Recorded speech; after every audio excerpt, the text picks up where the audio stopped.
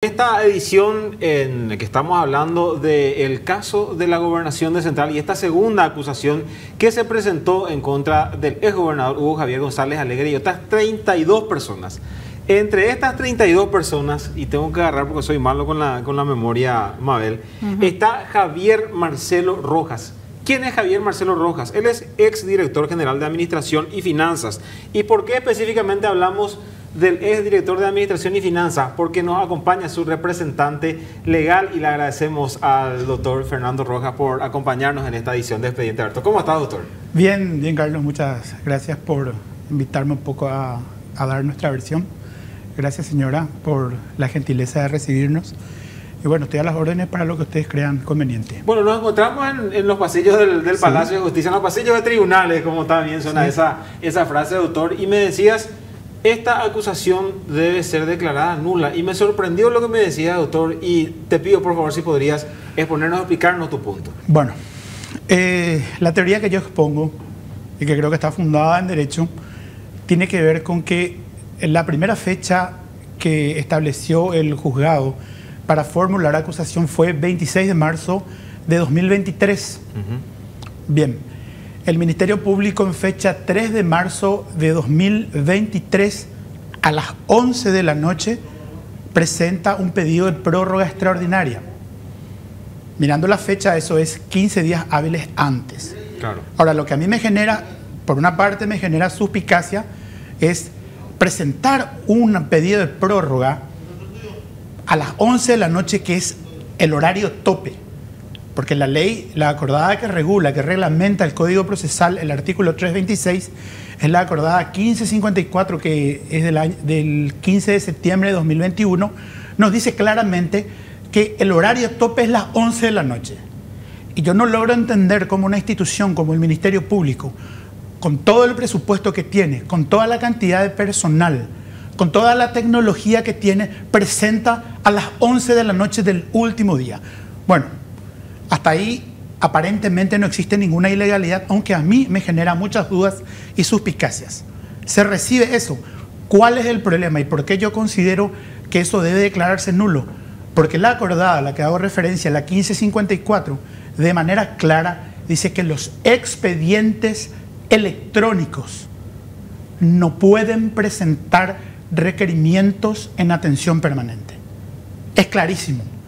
El artículo 326 concuerda con la, concordada, con la acordada 1554 y dice aquellos expedientes que tengan eh, modo digital, expediente electrónico, solamente pueden recibir en formato papel requerimientos que tengan que ver con el vencimiento del plazo de una detención.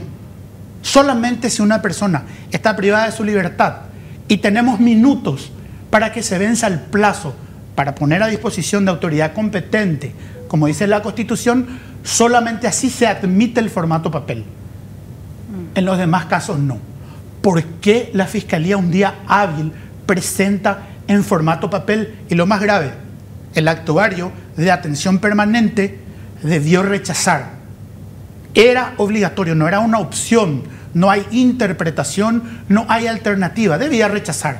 ¿Por qué? Porque en esa acordada está claramente especificada que no debía recibir. Sin embargo, recibió.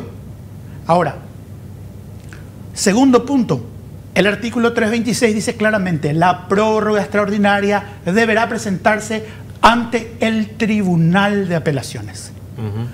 ¿Qué hace presentando en una oficina de atención permanente? La ley es clara en materia penal no existe la posibilidad de realizar interpretaciones. Yo en, un proceso penal nunca puedo decir, me parece que, creo que, o tal vez quiso hacer esto. No, sencillamente nos remitimos a juzgar qué ocurrió. Y lo que ocurrió está prohibido. Presentó en formato papel en una oficina que no corresponde. Es decir, violentó el artículo 326 del Código Procesal Penal, presentando en atención permanente y no en tribunal de apelaciones, y lo hizo, eh, como dije, en una oficina de atención permanente en formato papel. ¿Se le otorga ese, ese, ese plazo extraordinario al Ministerio Público? ¿Ustedes plantean algún recurso en contra de esa resolución, doctor? No, No, porque nunca tuvimos la oportunidad de ser notificados por la simple, y ahí está, y ahí yo me autoadjudico la razón. ¿Cómo yo me voy a enterar si no había expediente electrónico? Usted revisa, yo pedí la auditoría, eh, le pedí a la doctora Liz y Teresita Sánchez, que es la que estaba en ese momento interinando el juzgado del doctor em, del MAS, le pido yo una auditoría informática. Por las dudas, yo ya le digo que sé que no hay. Expediente electrónico de prórroga extraordinaria no hay. Sencillamente colgaron la resolución que otorga, en, el sistema colgaron la resolución que otorga la prórroga. Pero yo personalmente puedo dar fe porque ya hice una auditoría particular, no existe expediente electrónico en materia de prórroga extraordinaria. No existe alternativa. Eh, el pedido es lo que no existe, doctor. El pedido existe en formato papel. Pero no electrónicamente. Electrónicamente no. Mm. Y la acordada te dice que, sol, que tenés que pedir de manera electrónica. es, que no tiene sentido, señora, ¿por qué?